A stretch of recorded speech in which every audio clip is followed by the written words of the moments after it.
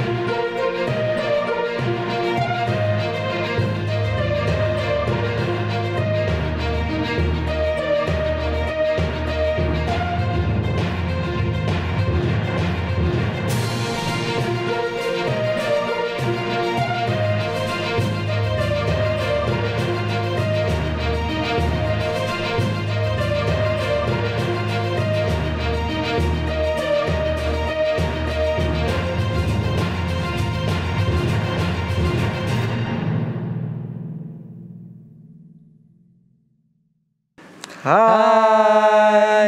Selamat datang dalam program Tajam. Tajam. Tanya, Tanya jawab Alkitab malam. malam.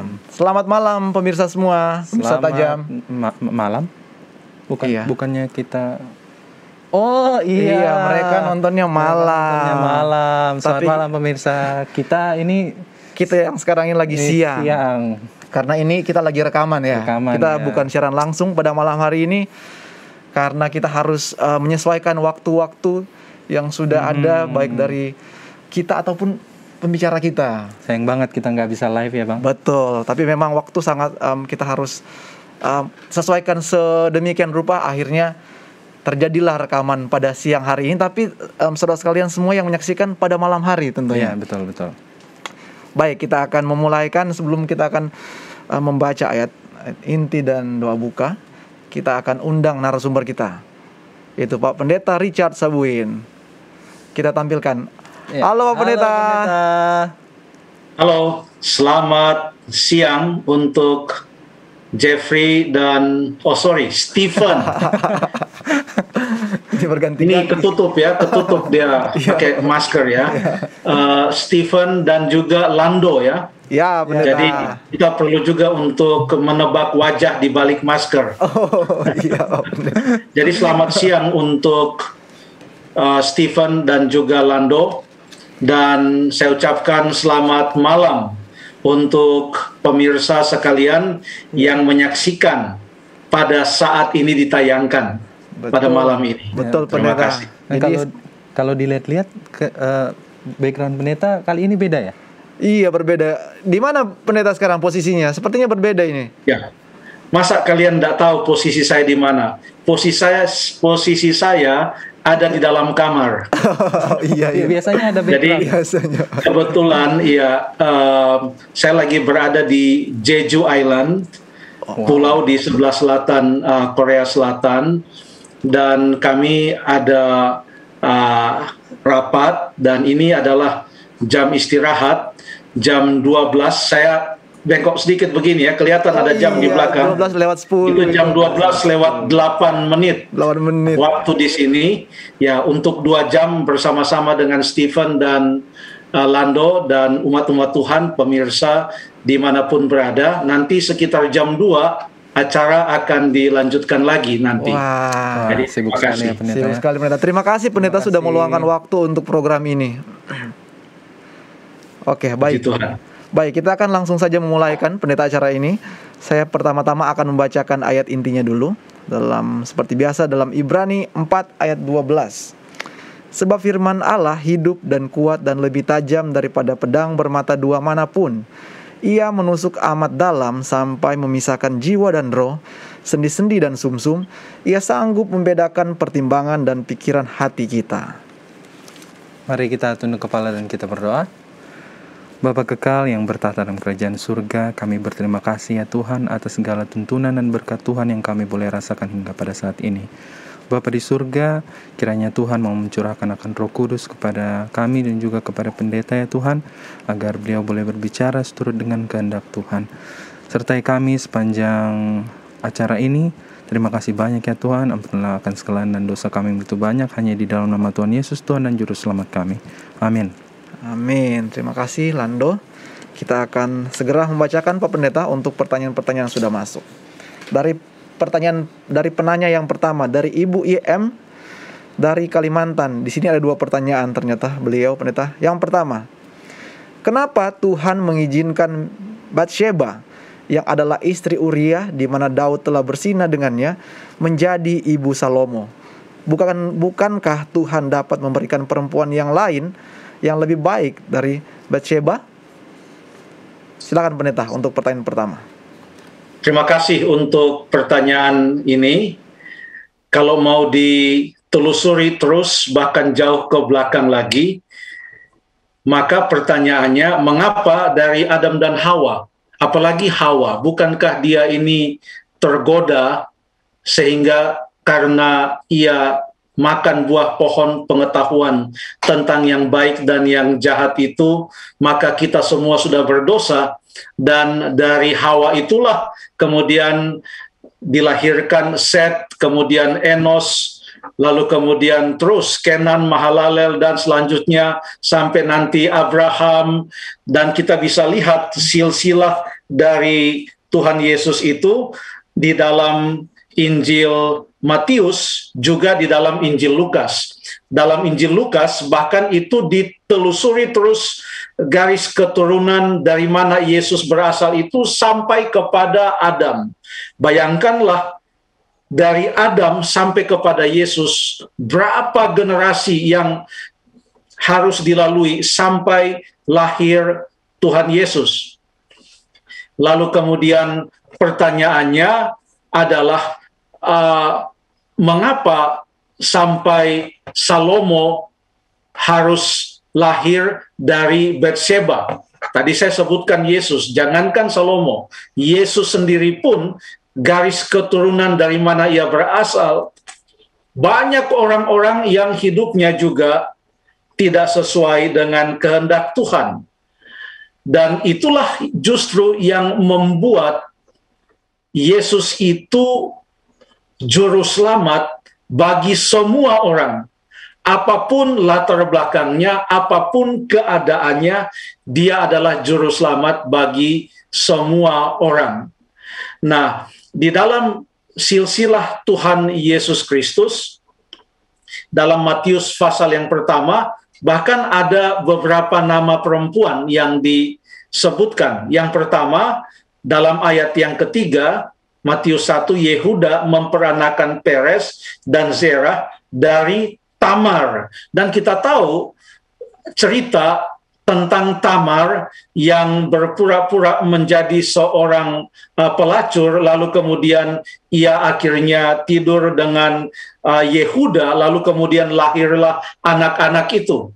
Lalu kemudian yang berikut ayat yang kelima Salmon memperanakan Boas dari Rahab. Kita tahu cerita waktu ada pengintai-pengintai datang ke kota Yeriko dan Rahab disebutkan sebagai seorang perempuan sundal. Bahkan di dalam ayat yang keenam dikatakan Isai memperanakan Raja Daud dan Daud memperanakan Salomo dari istri Uria.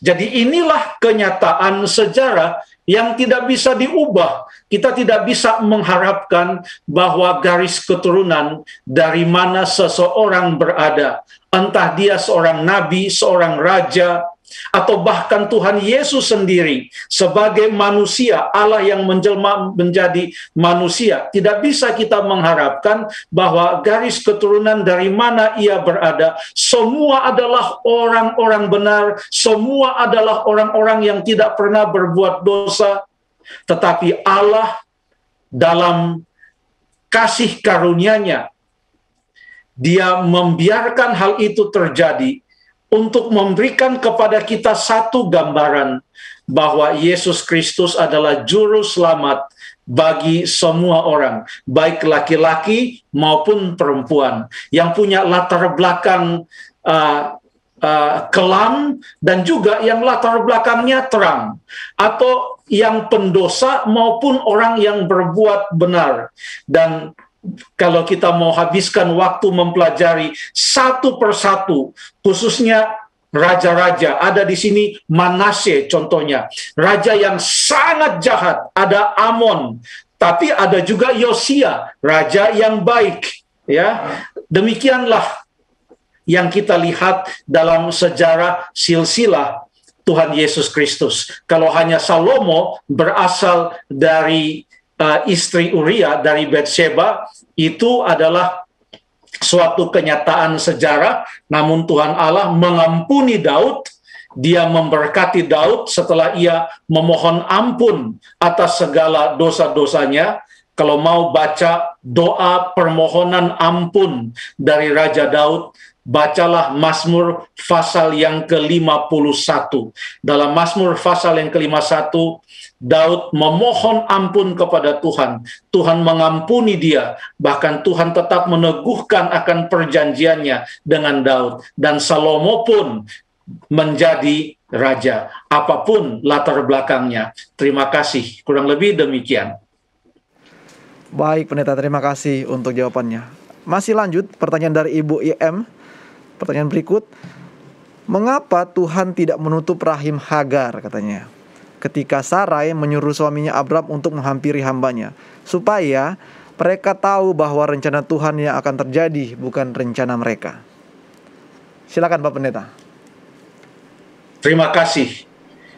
Uh, justru sebaliknya adalah Tuhan Allah menutup rahim Sarai sampai ia sudah sangat tua, usia 90 tahun, supaya mereka tahu waktu anak itu lahir, itu bukan karena suatu hubungan sebab akibat secara alami di mana Hagar masih muda, Abraham masih muda, sorry, maksud saya Sarah masih muda dan Abraham masih muda, sehingga tanpa pertolongan Tuhan dan tanpa iman kepada Tuhan, tanpa berdoa kepada Tuhan, tanpa berharap kepada Tuhan, mereka pikir masih muda, baik Abraham maupun Sarah pasti akan mendapatkan uh, anak. Justru dengan Tuhan menunggu sampai Sarah sudah 90 tahun dan Abraham sudah 100 tahun baru lahir itu anak justru menunjukkan bahwa ini adalah rencana Tuhan. Kalau kita telusuri cerita sejak Tuhan Allah berjanji bahwa ia akan memberikan kepada Abraham keturunan yang sangat besar mulai dari kejadian pasal yang ke-12 sampai kepada kejadian pasal yang ke-17, pasal yang ke-19, itu ceritanya sungguh luar biasa. Karena ada suatu ayat yang terdapat dalam kejadian pasal yang ke-15 ayat yang keenam yang berkata, maka percayalah Abram kepada Tuhan, maka Tuhan memperhitungkan hal itu kepadanya sebagai kebenaran. Inilah kata percaya yang pertama kali terdapat di dalam Alkitab, yaitu tentang iman atau percayanya Abraham. Dikatakan Tuhan memperhitungkan, percaya seperti apa Abraham pada waktu dikatakan di dalam ayat ini, ia percaya. Padahal janji Tuhan tentang keturunan dan uh, keturunan yang banyak seperti pasir di laut bagi Abraham itu itu bukan baru dituliskan di dalam kejadian pasal yang ke-15 bahkan sudah mulai dari kejadian pasal yang ke-12 tapi mengapa waktu Tuhan Allah pertama kali berjanji? Contohnya di dalam kejadian 12 ayat yang ketujuh berkata, Aku akan memberikan negeri ini kepada keturunanmu. Padahal waktu itu Abraham dan Sarah belum mempunyai keturunan. Mengapa tidak ada di sana pernyataan seperti yang ada di dalam kejadian 15 ayat yang ke-6 yang mengatakan, maka percayalah Abraham dan Tuhan Allah memperhitungkan hal itu sebagai kebenaran. Mengapa tidak ada? Abraham masih relatif muda, 75 tahun dibandingkan dengan ayahnya yang bernama Terah. Waktu ia mendapatkan Abraham, Terah waktu itu usianya 70 tahun. Jadi masih dalam usia wajar dan normal untuk manusia pada zaman itu mempunyai anak usia 70 tahun, 75 tahun sehingga waktu janji itu disebutkan tidak ada pernyataan, maka percayalah Abraham. Mungkin Abraham berpikir, "Oh, kalau Tuhan berjanji akan memberikan keturunan kepada uh, saya dan Sarah, tentu dengan cara kami, kami bisa. Sebab laki-laki ketemu perempuan dalam konteks suami bertemu dengan istri, mereka melakukan hubungan uh, perkawinan, maka secara alami akan mendapatkan anak, tetapi belum mendapatkan anak. Kemudian janji Tuhan diberikan lagi kepada mereka berulang-ulang. Tetapi Abraham masih belum ada reaksi yang dituliskan tentang Abraham bahwa percayalah Abraham. Contohnya di dalam kejadian pasal yang ke-13 dikatakan dalam ayat 16 Aku akan menjadikan keturunanmu seperti debu tanah banyaknya, sehingga jika seandainya ada yang dapat menghitung debu tanah, keturunanmu pun akan dapat dihitung juga. Belum ada statement, maka percayalah Abraham, dan Tuhan memperhitungkan hal itu kepadanya sebagai kebenaran. Karena mereka masih muda, masih merasa sanggup dengan cara sendiri. Lalu di pasal yang ke-15, Tuhan Allah berkata lagi kepada Abraham, pernyataannya dalam pasal 15 ayat 1, jangan takut Abraham, akulah perisaimu, upahmu akan sangat besar. Abraham mulai risau. Karena tadinya dia berpikir dia dan Sarah mampu melakukannya tanpa pertolongan Tuhan dengan cara mereka sendiri secara alami. Sekarang menyambut perkataan Tuhan itu, maka Abraham berkata di dalam ayat yang kedua, "Ya Tuhan Allah, apakah yang akan engkau berikan kepadaku kalau aku akan meninggal dengan tidak mempunyai anak?" Mulai khawatir dan risau dia, ya.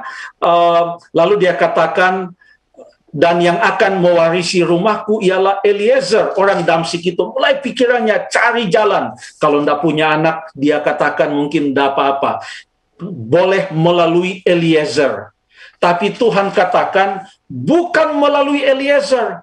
Dalam ayat yang keempat Tuhan katakan orang ini tidak akan menjadi ahli warismu, melainkan anak kandungmu, dialah yang akan menjadi ahli warismu. Lalu percayalah Abraham. Jadi waktu Abraham percaya kepada Tuhan, sudah mulai ada timbul di dalam benaknya mungkin dengan cara kami sendiri atau mungkin melalui Eliezer atau bagaimana. Lalu kemudian Tuhan berjanji lagi di pasal yang ke-17 berkali-kali berkali-kali Tuhan berjanji lagi kepada uh, Abraham bahwa ia akan mendapatkan seorang uh, anak. Akan tetapi apa yang terjadi pada waktu itu dalam ayat yang ke-17 tertunduklah Abraham dan tertawa serta berkata dalam hatinya mungkinkah bagi seorang berumur 100 tahun dilahirkan seorang anak? Dan Sarah yang telah berumur 90 tahun melahirkan seorang anak sudah give up mereka. Jadi ini bukan masalah Hagar bukan masalah Tuhan kenapa buka kandungan Uh, kenapa Tuhan tidak tutup saja kandungan Hagar supaya jelas-jelas memang ini adalah dari Sarah. Bukan itu intinya. Justru intinya adalah pada saat Abraham merasa tidak ada lagi jalan keluar. Dia punya cara dan Sarah tidak bisa dengan cara secara alami suami istri tidak bisa. Yang mereka sangka itulah yang seharusnya terjadi.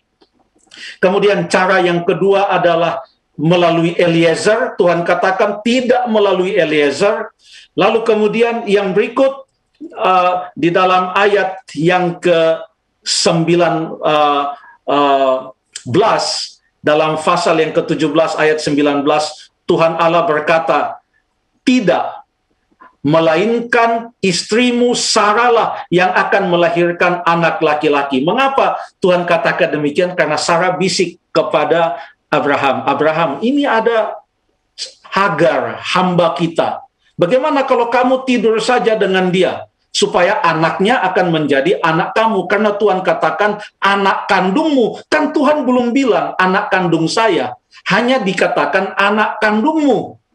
Jadi anak kandungmu dengan Hagar. Tapi waktu sudah lahir uh, Ismail, Tuhan katakan bukan. Dia katakan dalam ayat 19 pasal 17 melainkan istrimu Sarahlah yang akan melahirkan anak. Jadi Tuhan punya cara sungguh luar biasa sehingga pada waktu anak itu lahir yaitu Ishak memang betul-betul Abraham dan Sarah tahu ini bukan karena proses alami secara normal terjadi tetapi ini adalah suatu pemberian dari Allah suami istri 190 tahun yang menurut perhitungan mereka kalau mereka mengadakan hubungan suami istri pun tidak mungkin akan dapat anak lagi tetapi di dalam hubungan suami istri mereka di situ Tuhan Allah memberkati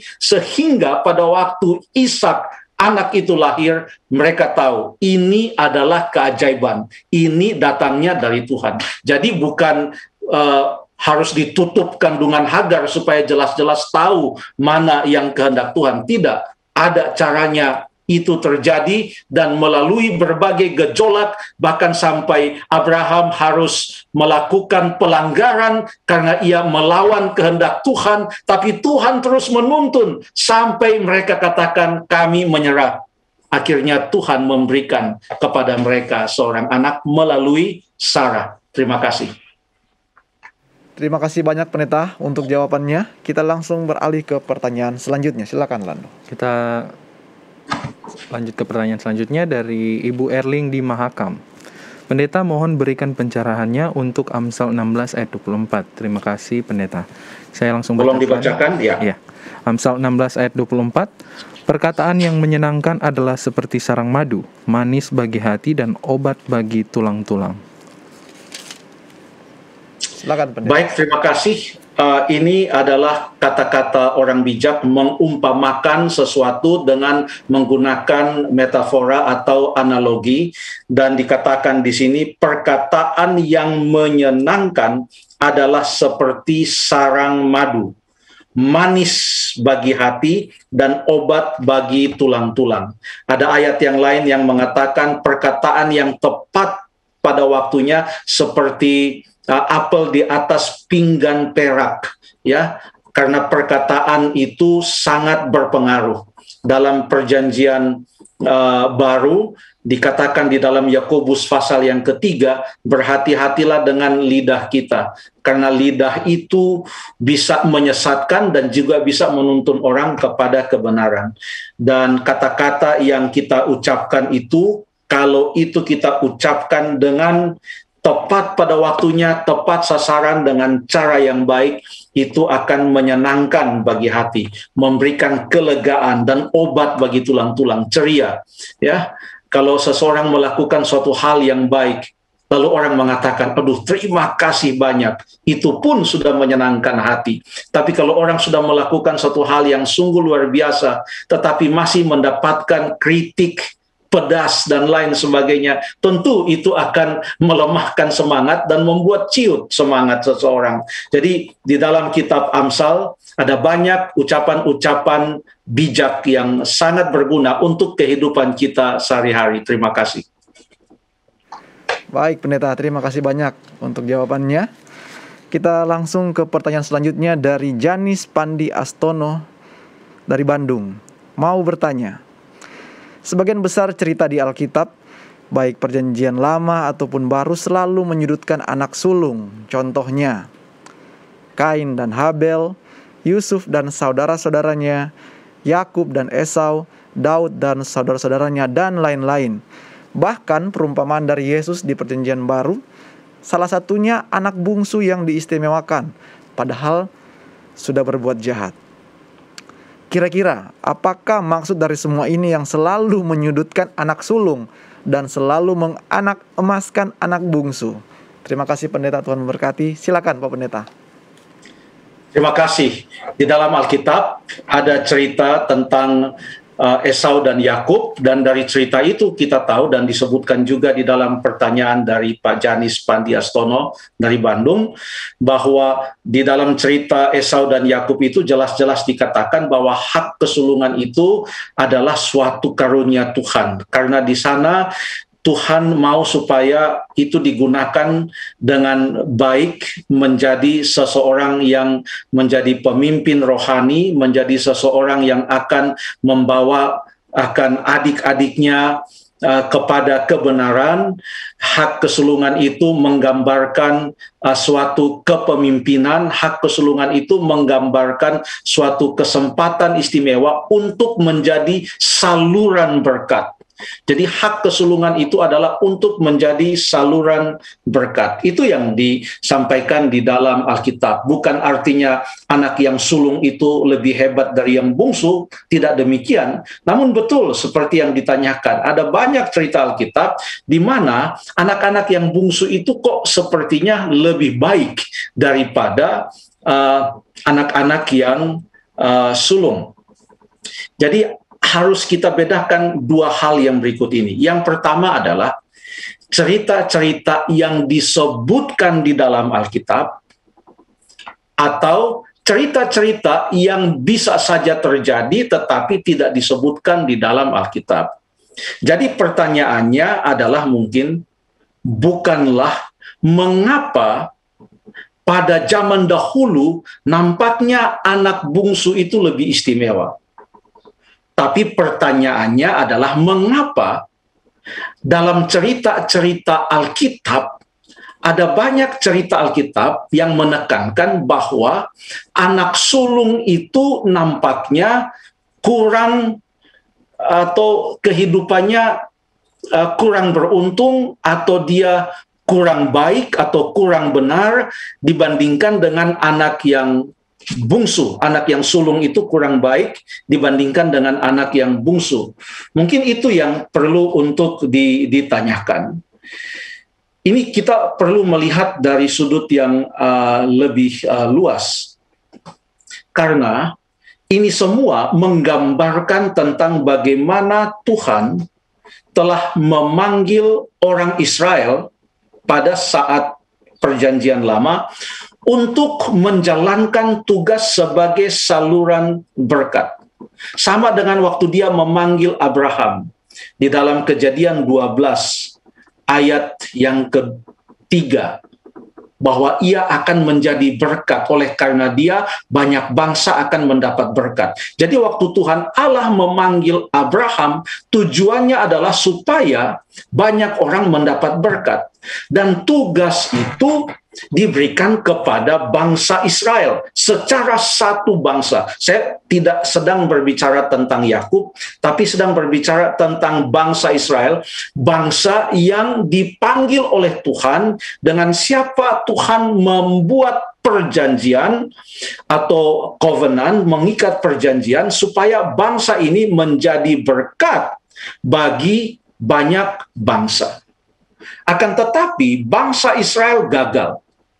Dalam perjanjian baru mereka bahkan menolak Yesus, menyalibkan Tuhan Yesus. Apa yang terjadi? Maka panggilan Tuhan itu sekarang diberikan kepada semua orang untuk bisa menjadi bahagian dari Israel rohani atau gereja Israel rohani itu, gereja yang didirikan Kristus itu, di mana itu terbuka untuk bangsa mana pun saja untuk bergabung di dalam gereja tersebut dan gereja itulah atau orang Kristen itulah menurut ajaran Alkitab itulah yang menggantikan posisi Israel sebagai suatu bangsa untuk menjadi saluran berkat keselamatan bagi banyak orang. Sehingga di dalam pandangan ini, maka orang Israel itu bagaikan anak yang sulung, sementara karena anak sulung itu gagal, maka karena mereka tidak menghargai mereka punya berkat sebagai anak sulung itu, maka kesempatan itu diambil dari mereka dan diberikan kepada para pengikut Kristus, mulai dari zaman Perjanjian Baru sampai sekarang ini. Siapa pun saja yang mau bergabung sebagai umat Tuhan, mereka itulah yang dipanggil kemudian setelah orang Israel dan mereka seperti anak bungsu itu dan merekalah yang menjadi saluran berkat. bagi banyak orang untuk mendapatkan keselamatan.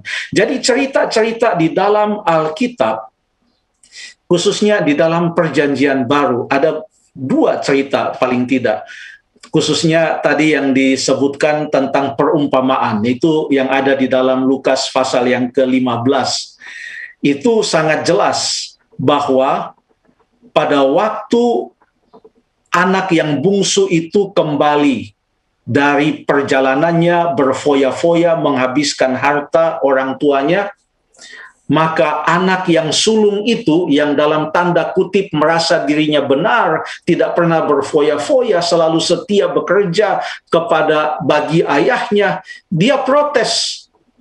Kenapa sampai ayah menerima anak yang bungsu ini? Dia merasa bahwa anak yang bungsu ini tidak layak lagi untuk mendapatkan keselamatan. Itu menggambarkan sikap orang Israel pada zaman Tuhan Yesus yang merasa sangat eksklusif seakan-akan bangsa yang lain.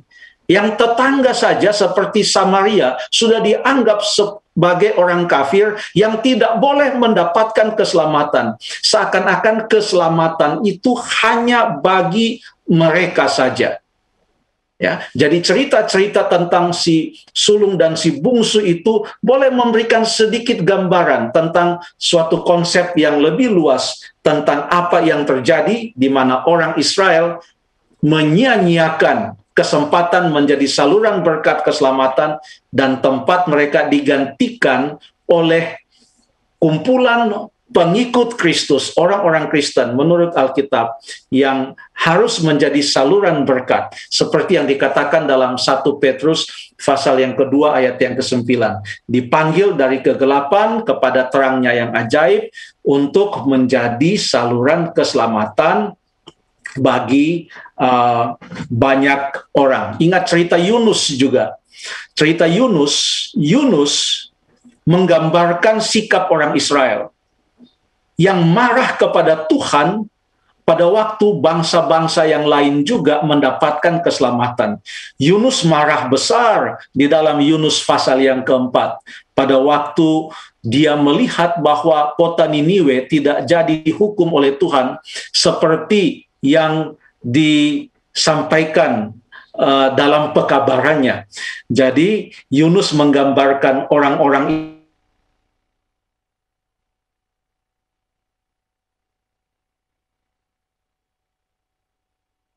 itu juga sebenarnya bisa kita bandingkan cerita Yunus itu seperti perumpamaan tentang anak yang hilang. Ada si sulung dan si bungsu dalam cerita Yunus juga. Yunuslah si sulung itu.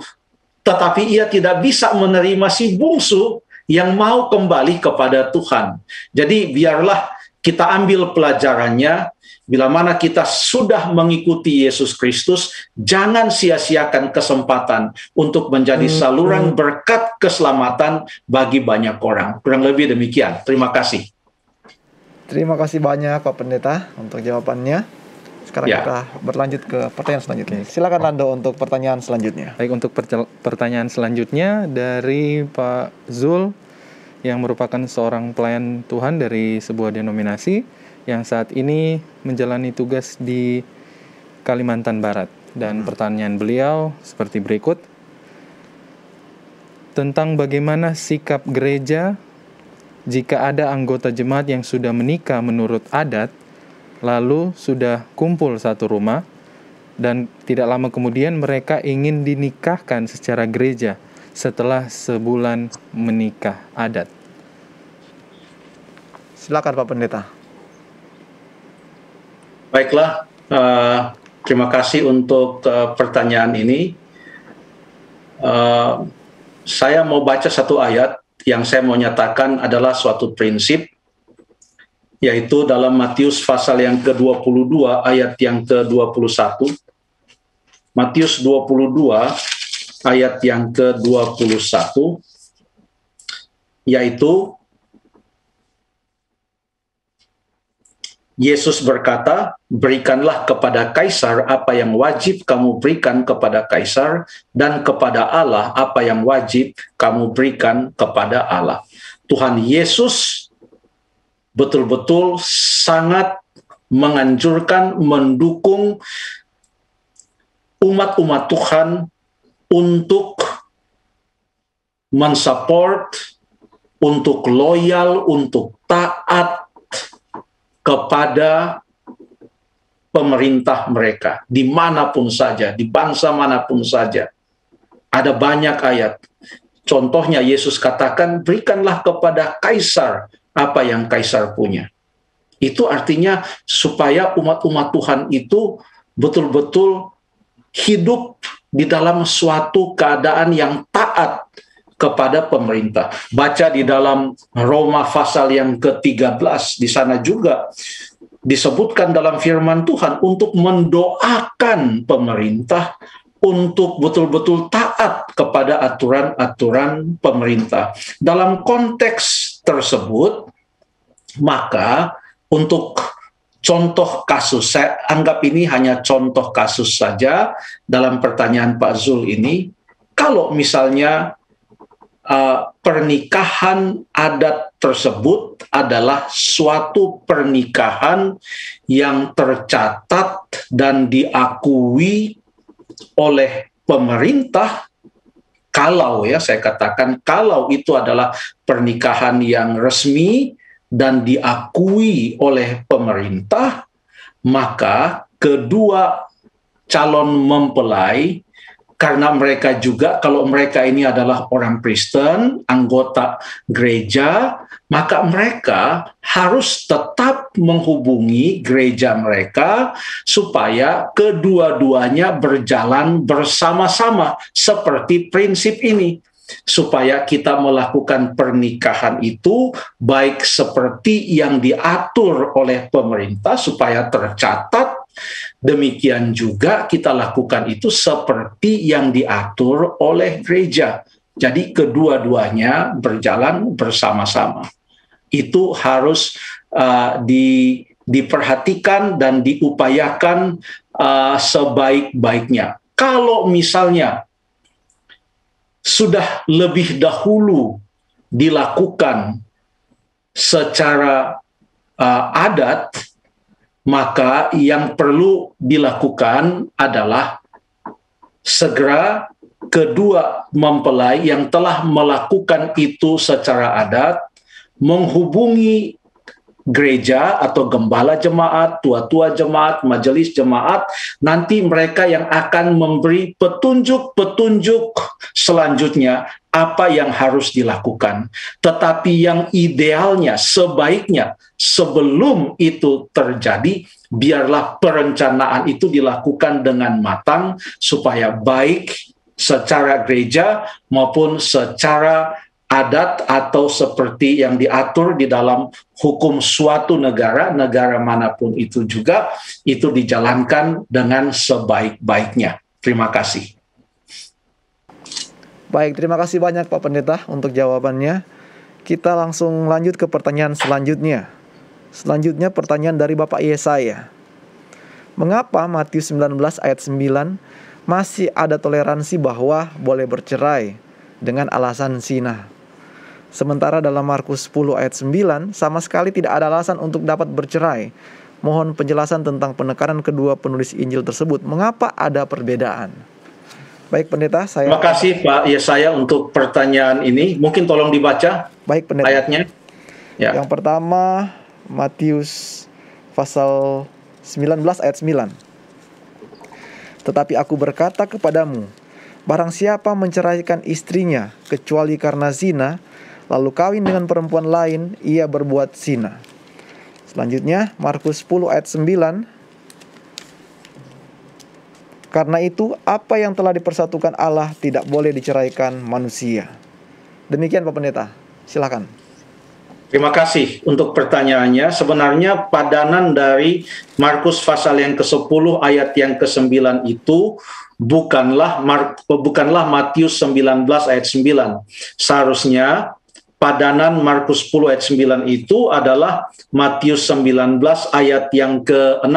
Tolong dibaca kembali kedua ayat ini. Lebih cocok kalau mereka dua dibaca bersama-sama karena betul-betul mereka itu uh, padan satu dengan yang lainnya. Baik pendeta, saya bacakan terlebih dahulu Markus 10 ayatnya yang ke-9. Karena itu apa yang telah dipersatukan Allah tidak boleh diceraikan manusia. Matius ya. 19 ayat yang ke-6. Demikianlah mereka bukan lagi dua, melainkan satu. Karena itu, apa yang telah dipersatukan Allah tidak boleh diceraikan manusia. Baiklah, uh, terima kasih. Jadi kalau kita uh, melihat bahwa ternyata uh, kedua ayat itu sangat padan. Hanya saja Markus tidak mencatat apa yang dicatat oleh Matius itu bukan berarti bahwa karena Markus tidak mencatatnya, maka uh, ada perbedaan antara Markus dan Matius tentang ajaran Yesus. Tidak, karena ada hal-hal lain yang dicatat di Matius tidak ada di dalam Injil uh, Markus. Contohnya di dalam Injil Markus, ya, dalam Injil Markus waktu mulai Markus pasal yang pertama langsung tentang Yohanes Pembaptis. Tidak ada cerita Maria mengandung, lalu ada cerita orang-orang majus yang datang, tidak ada, langsung kepada Yohanes Pembaptis. Apakah berbeda? Tidak, hanya saja Markus tidak mencatatnya, tapi Matius mencatatnya. Demikian juga dengan Injil Lukas dan Injil Yohanes. Mengapa ada empat Injil? Supaya kita bisa melihat secara keseluruhan. Kalau itu tertulis dalam Yohanes dan tidak tertulis dalam Lukas, bukan artinya itu bertentangan, tetapi karena ini semua adalah tentang Yesus dan ini semua penulisnya diilhami oleh Roh Kudus, maka apa yang ditulis entah itu di Markus atau di Matius atau di Lukas atau di Yohanes, kita terima itu sebagai firman Allah yang diinspirasikan dan menjadi penuntun di dalam kehidupan kita. Sebenarnya Tuhan Yesus mengenai masalah perceraian ini prinsipnya sama di Matius dan di Markus, yaitu apa yang telah dipersatukan oleh Allah janganlah diceraikan oleh manusia. Titik. Ya, sekalipun itu adalah tentang oleh karena zina. Sebab kalau kita baca dalam Matius maupun Markus, Tuhan Yesus tidak pernah berkata, kalau berzina ceraikanlah dia katakan tidak boleh menceraikan kecuali karena zina. Artinya apa? Sedapat mungkin sekalipun itu karena ada sekalipun ada perjinahan, sedapat mungkin tidak boleh diceraikan. Tetap tapi kalau mengambil keputusan untuk bercerai itu hanya bisa terjadi kalau ada perjinahan karena terjadi perjinahan. Jadi menceraikan karena berzina bukanlah sebuah perintah dari Kristus. Menceraikan karena zina itu adalah sebuah pengecualian dari suatu prinsip yang Yesus katakan tidak boleh ada perceraian. Jadi jangan kita ambil itu sebagai suatu perintah. Oh, berzina, cerai. Kenapa? Diperintahkan. Tidak, itu tidak diperintahkan. Lihatlah, selalu menggunakan kata kecuali. Yesus tidak pernah menggunakan kata perintah. Ceraikanlah jika itu berzina. Contoh di dalam perjanjian lama. Cerita tentang Hosea dan Gomer yang menggambarkan kasih Allah bagi orang-orang Israel. Bayangkan berapa kali Gomer pergi dengan lelaki yang lain. Tapi Tuhan perintahkan kepada Hosea, panggil dia kembali. Bawa itu istrimu. Pergi lagi dengan laki-laki lain. Tuhan katakan kepada Gomer, bawa dia kembali. Itu adalah istrimu. itulah yang menggambarkan kasih Allah kepada manusia. Dan hubungan suami istri menurut uh, Efesus pasal yang kelima, Tuhan Yesus menggambarkan hubungan Kristus, kasih Kristus kepada jemaatnya itu digambarkan kasih uh, suami kepada istri, hubungan suami dan istri. Bayangkan saja kalau misalnya kita umat Allah satu kali kita melakukan kesalahan Tuhan Yesus katakan kamu out tidak ada kesempatan lagi jadi bukan itu spiritnya spiritnya adalah sedapat mungkin pertahankan karena tidak boleh ada perceraian terima kasih baik Pak Pendeta terima kasih banyak untuk jawabannya kita langsung beralih ke pertanyaan selanjutnya. Silakan, Lando. Selanjutnya dari Tere di Sampit, Shalom Pak Pendeta. Di perjanjian lama kenapa sering Tuhan menggunakan kata kita? Kenapa tidak kata aku?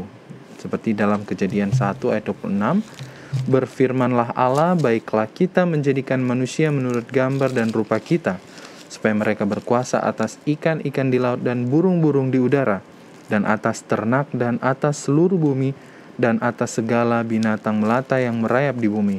Kemudian di dalam kejadian 3.22, berfirmanlah Tuhan Allah sesungguhnya manusia itu telah menjadi seperti salah satu dari kita, tahu tentang yang baik dan yang jahat.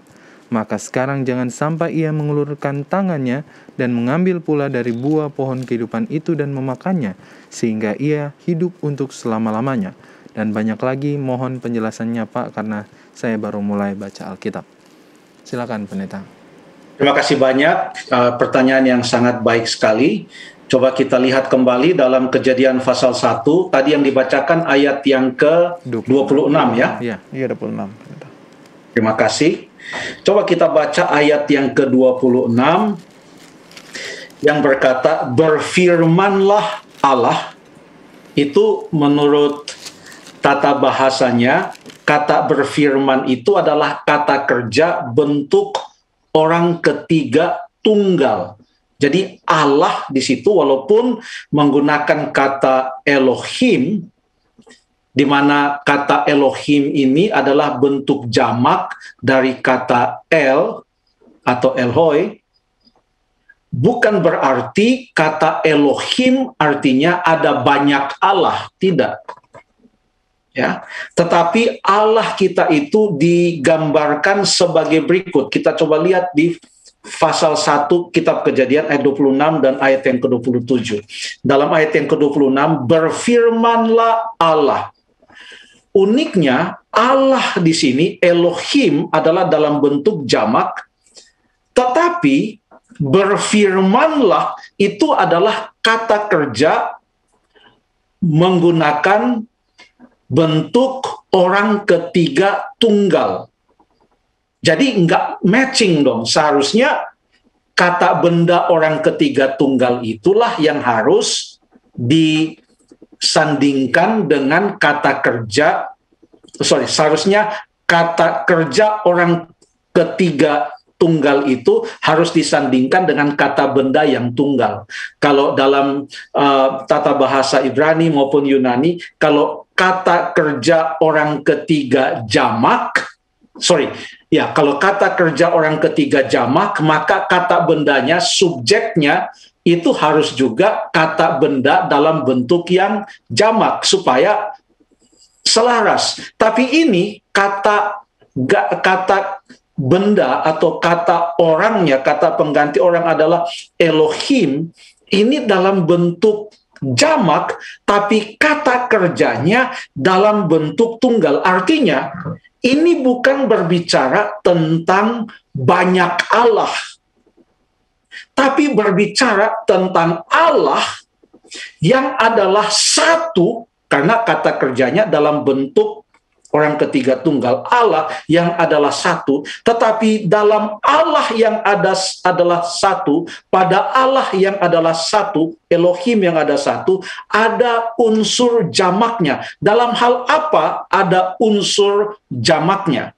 Coba kita lihat di dalam ayat yang ke-26 kita baca selanjutnya baiklah kita menjadikan manusia menurut gambar dan rupa kita supaya mereka berkuasa atas ikan-ikan di laut dan burung-burung di udara. Dan selanjutnya Tuhan Allah berkata jadi Allah orang ketiga jamak berkata ini adalah kata kerja bentuk tunggal, lalu Allah berkata, "Baiklah kita."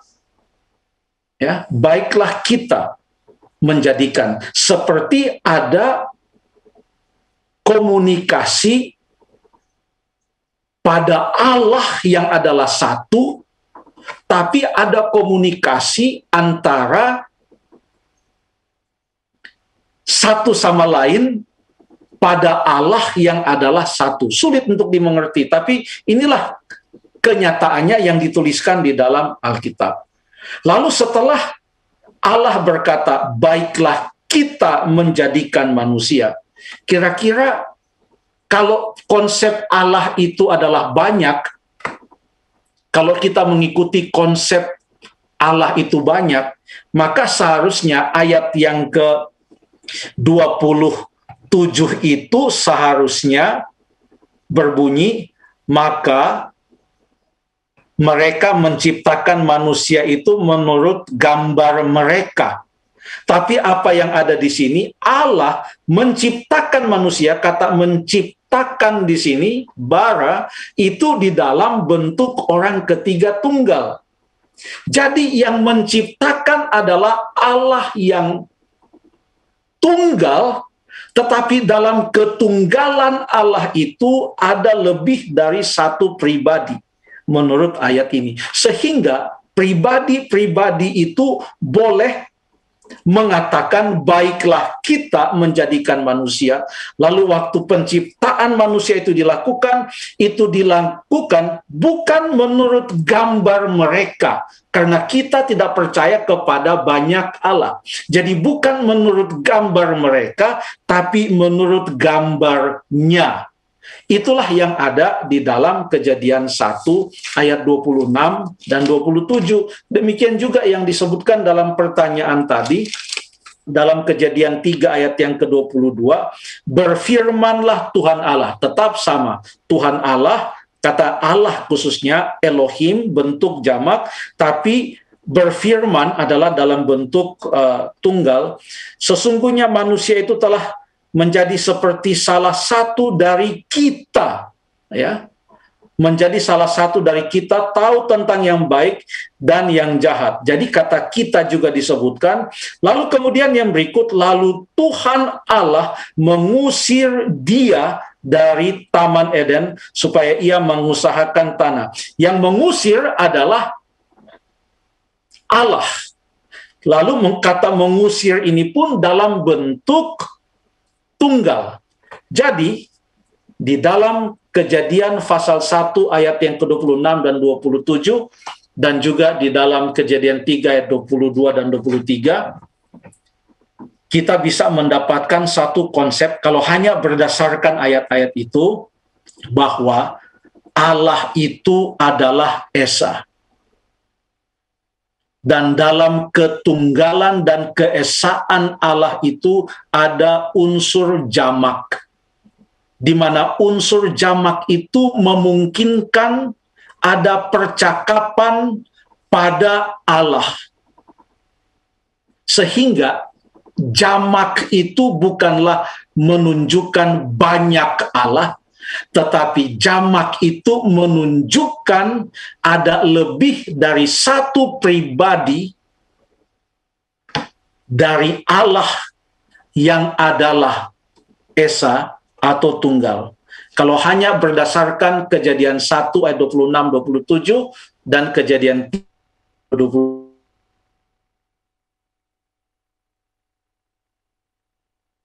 ilah trinitas di sini, tapi hanya membahas kira-kira apa yang dimaksudkan di dalam kejadian satu dan kejadian tiga tadi.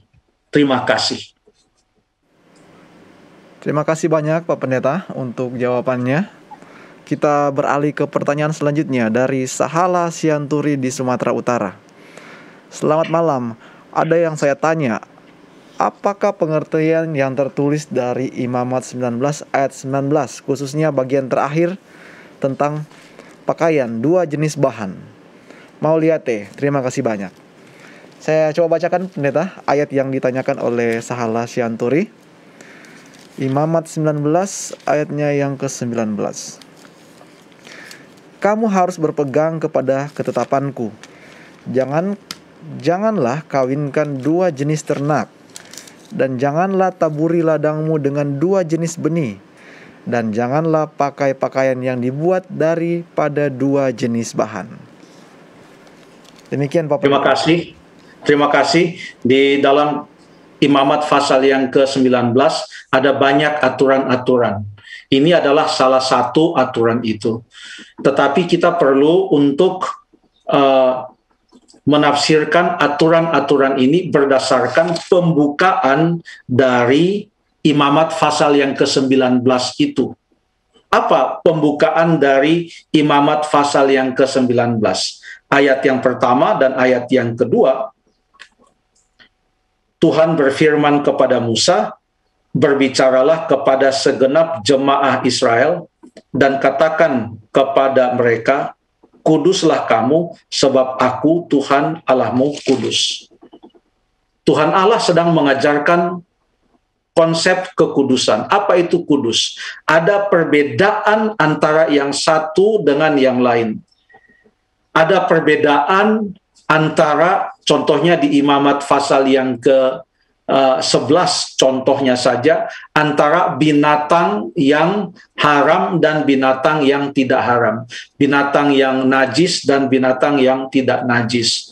Kemudian di dalam imamat pasal yang ke uh, 14, 13 dan 14 contohnya. Pada waktu berbicara tentang penyakit kusta harus jelas ini beda ini penyakit harus uh, orang itu harus dikarantina dan lain sebagainya tentang kenajisan dan lain sebagainya. Mengapa? Karena Tuhan Allah mau menanamkan prinsip kekudusan dalam berbagai cara. Tuhan Allah mau menanamkan akan hal itu. Demikian juga apa yang dikatakan di dalam Imamat pasal yang ke 19 ayat 19 pertanyaannya tadi hanya menyebutkan tentang bahagian yang ketiga dari ayat tersebut. Tetapi ini kan satu ayat yang mengatakan ada tiga hal. Janganlah kawinkan dua jenis ternak. Itu yang pertama. Yang kedua, janganlah taburi ladangmu dengan dua jenis benih.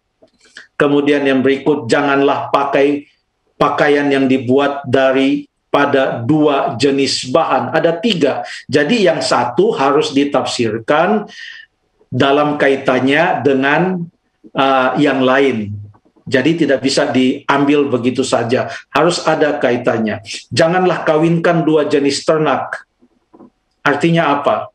Jantannya adalah uh, ternak jenis ini dikawinkan dengan betinanya ternak jenis yang lain. Tuhan mau supaya ada perbedaan, makanya dijadikan binatang-binatang itu berdasarkan jenis-jenisnya. Kemudian yang berikut adalah uh, janganlah taburi ladangmu dengan dua jenis benih. Uh, ada perumpamaan juga di dalam apa namanya uh, perjanjian baru tentang lalang dan gandum yang tumbuh bersama-sama ya yang tumbuh bersama-sama. Tapi kelihatannya sama hanya Tuhan yang tahu mana yang beda. Katanya kalau dicabut sekarang bisa kecabut juga yang gandum itu kalau lalang di dicabut.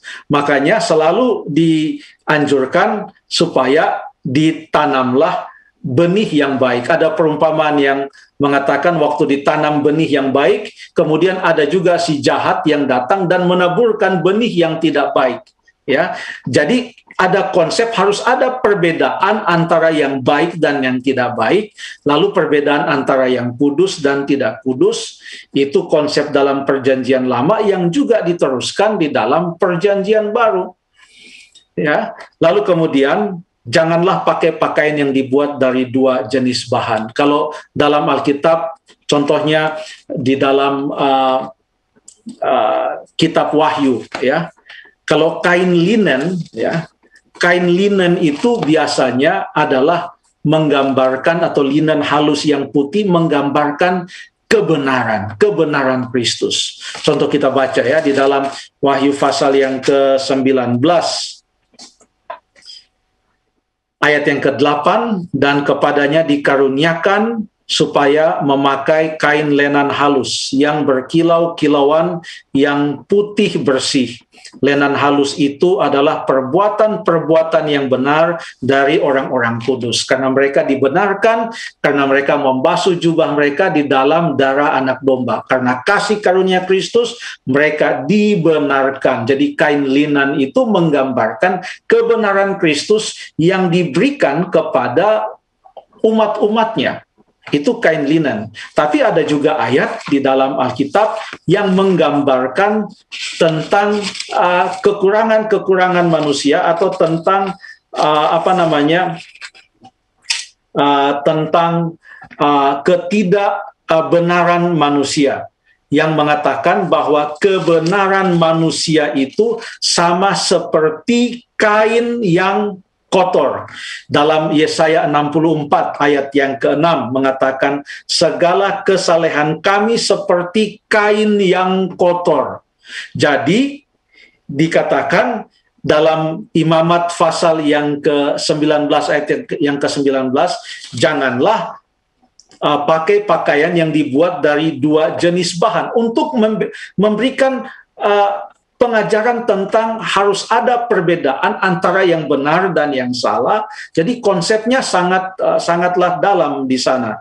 Ya, kita harus mengenakan pakaian linen yang putih yang menggambarkan kebenaran Kristus, bukan mengenakan pakaian yang kotor yang menggambarkan apa yang kita katakan kesalehan kita. Padahal kita ini adalah orang-orang berdosa. Makanya di dalam kitab Sakaria.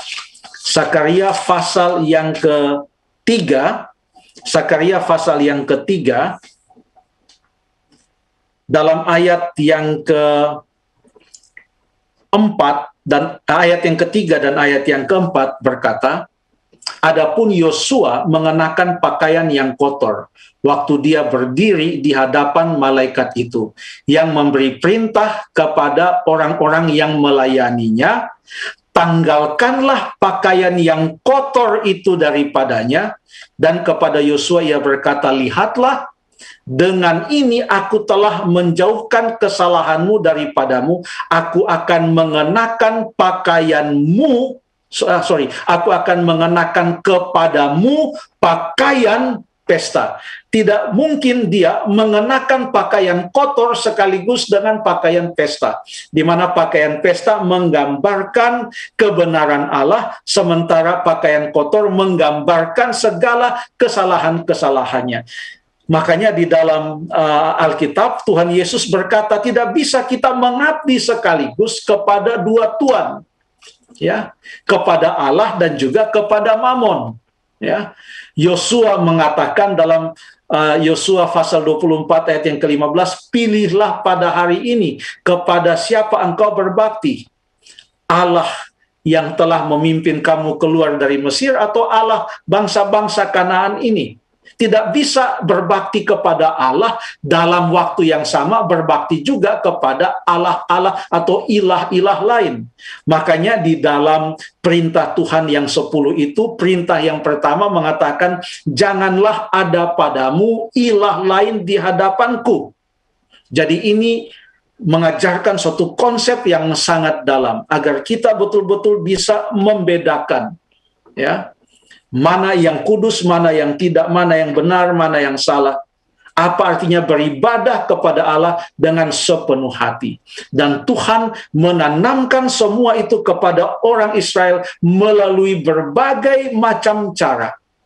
Kurang lebih demikian. Terima kasih. Baik Pak Pendeta, terima kasih banyak untuk jawabannya. Kita akan langsung lanjut ke pertanyaan selanjutnya. Ya, baik. Uh, pertanyaan selanjutnya dari Pak Charlie di Kalimantan. Shalom redaksi, saya mau tanya, firman Tuhan dalam kitab Keluaran 20 ayat 4, jangan membuat bagimu patung, lalu jangan sembah sujud kepadanya. Ini larangan dari Tuhan. Pertanyaannya, kenapa ada umat yang masih menggunakan patung dalam peribadatan? Tolong penjelasannya, Pendeta. Terima kasih, saya tidak bisa menjawab mengapa ada umat yang masih menggunakan patung dalam ibadah. Sebabnya itu dilakukan, mungkin bukan pada uh, acara tajam ini dibahas, mungkin ada kaitannya dengan sejarah gereja, apa yang terjadi dahulu, ada pergeseran-pergeseran uh, prinsip dalam melihat apa yang diperintahkan oleh Allah di dalam Alkitab, tetapi perintah yang Tuhan Allah berikan, khususnya dalam 10 perintah Tuhan.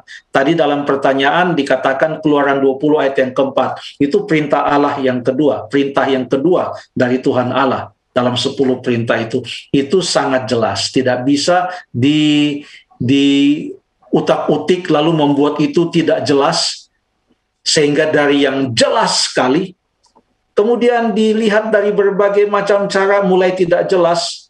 Lalu kemudian kalau hasilnya justru bertentangan dengan apa yang jelas, itu sudah terlalu jauh dia punya aplikasi. Karena yang jelas dibawa menjadi tidak jelas, lalu kemudian yang dipraktekkan bertentangan dengan apa yang sudah jelas, itu bukan kehendak Tuhan. Hanya itu yang bisa saya sampaikan. Terima kasih.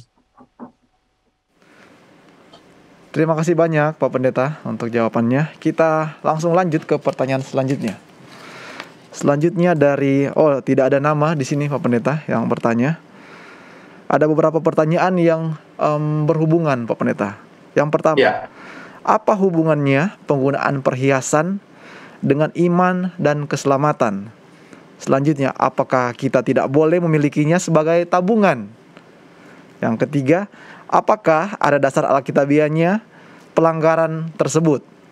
Selanjutnya, yang saya baca di Alkitab, daun telinga yang dilubangi itu tanda sebagai budak. Mohon jawabannya. Terima kasih. Silakan Pak Pendeta, berturut-turut ini sepertinya berkaitan pertanyaan-pertanyaan tersebut. Baiklah, terima kasih. Orang Israel keluar dari Mesir dari perbudakan sehingga praktek perbudakan itu sangat melekat dalam kehidupan uh, mereka dan Allah menuntun mereka bukan hanya saja keluar dari perhambaan di Mesir, tetapi keluar dari berbagai konsep kekafiran yang ada di Mesir. Jadi waktu Tuhan Allah juga menyelamatkan kita dari dosa, dia juga menuntun kita supaya keluar dari konsep-konsep yang salah yang ada kaitannya dengan dosa supaya kita bisa mengikuti aturan-aturan Alkitab.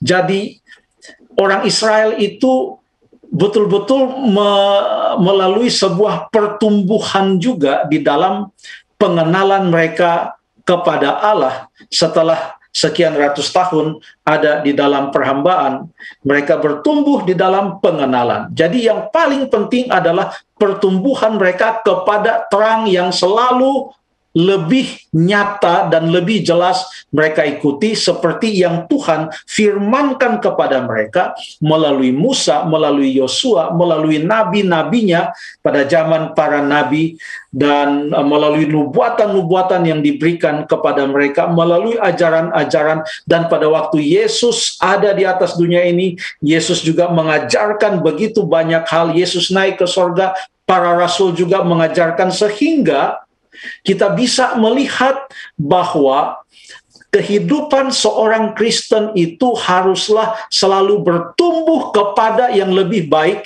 dan bertumbuh kepada kebenaran. Ya, bertumbuh ke arah kebenaran dan semakin hari semakin mengenal Allah, mengetahui dan memahami kebenarannya dan mengikuti akan kebenarannya. Itu pendahuluan terhadap pertanyaan yang ada tiga ini. Apa hubungannya menggunakan perhiasan dengan iman dan keselamatan? Ya. Tuhan Allah tidak memberikan kepada orang Israel syarat agar mereka harus tinggalkan semua perhiasan di Mesir, kalau tidak, mereka tidak akan dibawa keluar dari Mesir. Tuhan Allah tidak menempatkan Musa dan Harun dan pemimpin-pemimpin Israel di pintu gerbang Mesir, lalu periksa satu-satu semua perempuan yang lewat kalau masih pakai anting-anting dan perhiasan dan lain sebagainya, mereka katakan tinggal, tidak boleh keluar. Kalau mau keluar kasih tinggal, tidak. Jadi itu tidak dibuat sebagai suatu syarat keselamatan karena keselamatan itu kasih karunia. Dipanggil mereka keadaan apa pun mereka dipanggil untuk selamat. Tetapi selama perjalanan mereka menuju ke Mesir, Tuhan Allah tidak diam ia selalu mengajar mereka, selalu mengajar mereka. Ia tidak pernah diam. Ia selalu mengajari mereka untuk semakin mengenal Dia dan semakin mengetahui dan mengikuti akan kebenarannya. Artinya, semua aturan-aturan yang harus atau yang diberikan oleh Allah itu diberikan kepada orang-orang yang betul-betul menerima panggilan dari Tuhan untuk mendapatkan keselamatan. Sehingga karena mereka punya spirit atau semangat untuk mengikuti Yesus, maka tidak sulit bagi mereka untuk menerima aturan-aturan itu. Tapi kalau ada seseorang yang mengaku saya sudah menerima Yesus, tetapi sulit mau menerima ajaran Yesus, maka mungkin orang tersebut perlu bertanya lagi dalam dirinya, apakah betul-betul saya sudah betul-betul mengikuti Yesus atau saya belum mengikuti Yesus? Itu perlu ditanyakan kembali. Jadi semua aturan-aturan yang diberikan itu diberikan bagi mereka yang mau hidup sebagai pengikut Yesus yang sudah menyelamatkan mereka dan mereka sudah terima Yesus, dibaptiskan, Lalu kemudian Tuhan mau supaya mereka hidup sesuai dengan apa yang Tuhan sudah sampaikan. Sebelum seseorang menerima Yesus Kristus pun sudah diajarkan. Dan kalau memang orang tersebut mau menerima Yesus, ya tinggalkan apa yang sudah jelas dikatakan jangan. Saya ambil contoh tentang orang Israel. Pada waktu mereka keluar dari Mesir, apa yang terjadi dengan mereka? Kita baca di dalam kitab Keluaran pasal yang ke-33 ini cerita Keluaran pasal 33 ini terjadi setelah Keluaran 32 yang mencatat orang-orang Israel mereka menyembah patung lembu emas. Ya menyembah patung lembu emas dan perhiasan-perhiasan dan uh, yang mereka bawa. Emas ada disebutkan di situ anting-anting karena Harun berkata dalam Keluaran 32 ayat yang kedua berkatalah Harun kepada mereka tanggalkanlah anting-anting emas yang ada pada telinga istrimu anakmu laki-laki dan perempuan bawalah semua Lalu semua bangsa itu menanggalkan anting-anting emas yang ada pada telinga mereka dan membawanya kepada Harun. Harun kemudian uh, uh, dia dia lebur itu lalu dibentuk menjadi uh, patung emas. Jadi waktu mereka menyembah itu patung emas, itu semua itu anting-anting mereka itu yang mereka kumpulkan. Anting-anting emas dan perhiasan-perhiasan mereka yang mereka kumpulkan Lalu kemudian mereka sembah. Sehingga di sini bukan hanya berbicara tentang penyembahan berhala, tapi berbicara tentang konsep uh, bahwa diri itu lebih penting daripada Allah. Menomor duakan Allah, mereka menyembah seakan menyembah perhiasan mereka sendiri. Kan itu yang terjadi. Jadi perhiasan mereka itu adalah yang lebih utama mereka mau korbankan itu asal bisa mereka bisa menyembahnya kembali. Patung emas itu. Nah, setelah itu terjadi, apa yang Tuhan Allah firmankan kepada orang Israel? kita baca di dalam pasal berikutnya dalam Keluaran pasal yang ke-33. Kita baca Keluaran pasal yang ke-33, saya akan baca ayat yang ke-5 dan ayat yang ke-6. Berfirmanlah Tuhan kepada Musa, katakanlah kepada orang Israel, kamu ini bangsa yang tegar tengkuk. Jika aku berjalan di tengah-tengahmu sesaat pun, tentulah aku akan membinasakan kamu. Oleh sebab itu, tinggalkanlah perhiasanmu, sebab aku akan melihat apa yang akan kulakukan kepadamu. Tuhan mau mereka tinggalkan perhiasanmu. Ini bukan sekedar hukuman.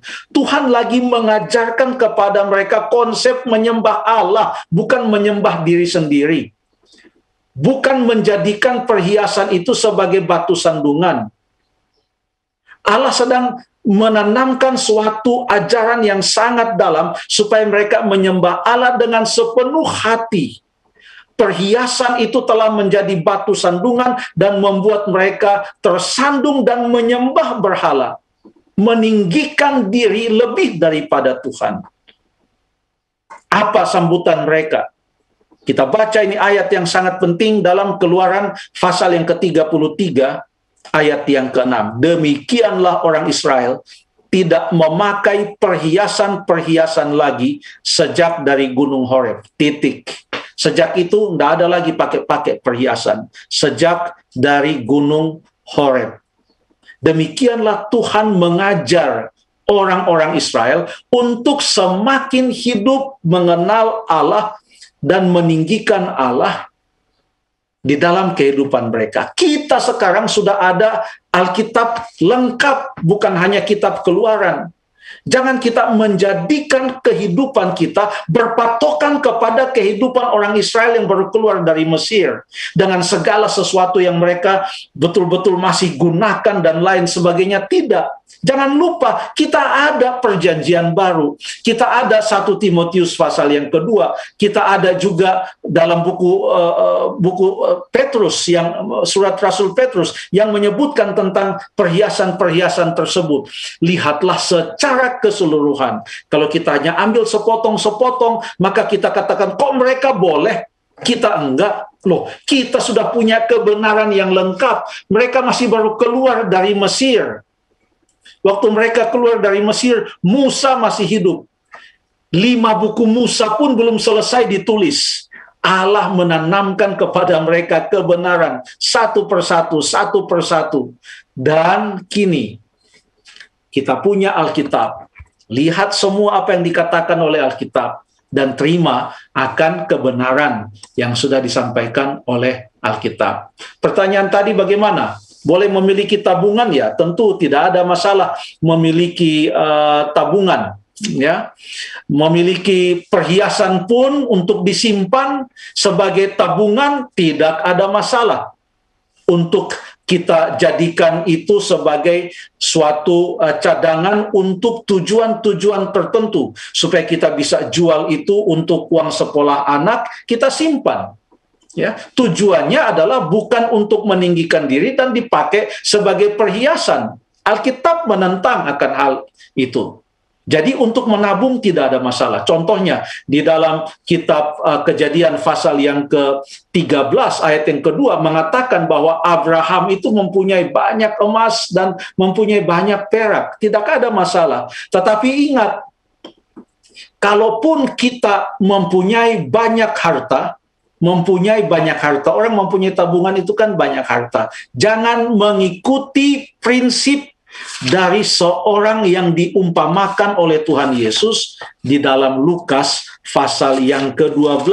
Apa yang orang itu katakan dalam Lukas pasal yang ke-12? Dikatakan di sana Yesus berkata mulai ayat 10 seorang kaya tanahnya berlimpah hasilnya ia berkata, "Apa yang harus aku perbuat? Sebab aku tidak mempunyai tempat di mana aku dapat menyimpan hasil tanah. Aku akan merombak lumbung-lumbungku, Aku akan menyimpan di dalamnya segala gandum, lalu akan tertimbun bertahun-tahun. Menimbun harta itu yang salah di sini. Menimbun harta. Dia tidak gunakan itu untuk kemuliaan Tuhan, tapi untuk dirinya makan, minum, bersenang-senang. Hidupnya bukan tuh untuk Tuhan. Makanya Tuhan katakan di dalam ayat yang ke-21, demikianlah jadinya dengan orang yang mengumpulkan harta bagi dirinya sendiri, jika ia tidak kaya di hadapan Allah. Ya. Beberapa kali waktu Tuhan Yesus menghadapi orang-orang kaya, dia katakan, kaya itu bagus karunia Tuhan, tetapi bantulah orang-orang miskin. Dia katakan itu kepada uh, uh, orang muda yang kaya itu. Sakeus mengatakan, "Oke, okay, saya akan jual setengah dari harta saya dan saya akan bagikan kepada orang miskin." Dia masih kaya, setengah kok yang dia jual. Tetapi itu bukan untuk menimbun harta bagi dirinya sendiri. Tuhan juga dalam firman Tuhan mengatakan di dalam Yakobus pasal yang kelima peringatan kepada orang-orang kaya ya khususnya di dalam ayat yang ketiga kamu telah mengumpulkan harta pada hari-hari yang sedang berakhir padahal dalam ayat yang keempat terdengar teriakan besar karena upah kamu tahan dari buruh yang telah menuai hasil ladangmu dan telah sampai ke telinga Uh, Tuhan semesta alam, keluhan mereka yang menyabit uh, panenmu dan lain sebagainya. Makanya ini dikaitkan dengan pekabaran di dalam kitab uh, Yakobus karena di dalam kitab Yakobus di, di, di, disampaikan mengenai uh, iman dan perbuatan. Ini dalam konsep untuk berbagi kepada mereka yang tidak mempunyai dan ini termasuk kepada orang-orang yang uh, kaya ya dikat atau orang-orang yang dipercayakan Tuhan dengan banyak uh, milik atau kepunyaan. Biarlah mereka menjadi uh, uh, menjadi saluran berkat. Contohnya saja di dalam uh, Yakobus pasal yang kedua. Yakobus pasal yang kedua kita baca di dalam uh, ayat yang ke ke-15. Jika seorang saudara atau saudari tidak mempunyai pakaian dan kekurangan makanan sehari-hari dan seorang di antara kamu berkata, ya, siapa ini kamu umat Tuhan, ya. Termasuk di sana kamu yang dituliskan di dalam pasal yang kelima. Jadi sekarang hai kamu orang-orang kaya, ya. Jadi dikatakan, jika seorang saudara atau saudari tidak mempunyai pakaian dan kekurangan makanan sehari-hari, dan seorang di antara kamu berkata, selamat jalan, kenakanlah kain panas, dan makanlah sampai kenyang. Tetapi ia tidak memberikan kepadanya apa yang perlu bagi tubuhnya, apa gunanya itu. Jadi, kaya di hadapan Allah artinya kita mau untuk menjadi saluran berkat bagi orang lain juga. Alkitab menggambarkan tentang beberapa orang kaya. Yusuf dari Arimatea, Nikodemus pun seorang kaya. Kemudian uh, Abraham adalah orang yang kaya. Dan Lydia, pedagang kain ungu dari Tiatira, juga adalah seorang yang kaya. Tetapi mereka menggunakan itu sebagai saluran berkat. Mereka tidak menimbun itu untuk diri mereka uh, sendiri. Itu yang Alkitab uh, ajarkan. Uh, Alkitab juga sebenarnya ada perintah yang mengatakan untuk menabung. Uh, di mana perintah yang mengatakan untuk menabung? Dalam uh, kitab Amsal, uh, walaupun tidak dibuat dalam bentuk perintah langsung, tapi dalam bentuk perumpamaan, hai pemalas, pergilah belajar kepada semut ya perhatikanlah lakunya dan jadilah bijak. Ayat yang ke-8 mengatakan mereka mengumpulkan makanannya di musim panas, mereka mengumpulkan makanan pada musim panen. Konsep apa di sini? Konsep untuk menabung untuk kebutuhan-kebutuhan di masa yang akan datang. Ya, tidak ada masalah di dalam uh, menabung. Ada banyak kebutuhan-kebutuhan karena Tuhan Allah tidak mau kita juga hidup dengan uh, tidak memikirkan akan uh, berkat-berkat yang Tuhan berikan. Dan kita salah menggunakan berkat-berkat itu. Dan Allah juga tidak mau kita hidup penuh dengan hutang. Ya sudah pernah ada pertanyaan juga sebenarnya tentang uh, hutang. Lalu kemudian uh, yang berikut uh, ada perintah Allah juga perintah Tuhan tentang menabung. Kalau itu saya mau baca ayatnya. Kita baca ayatnya dalam Matius pasal yang ke 6 saya akan baca.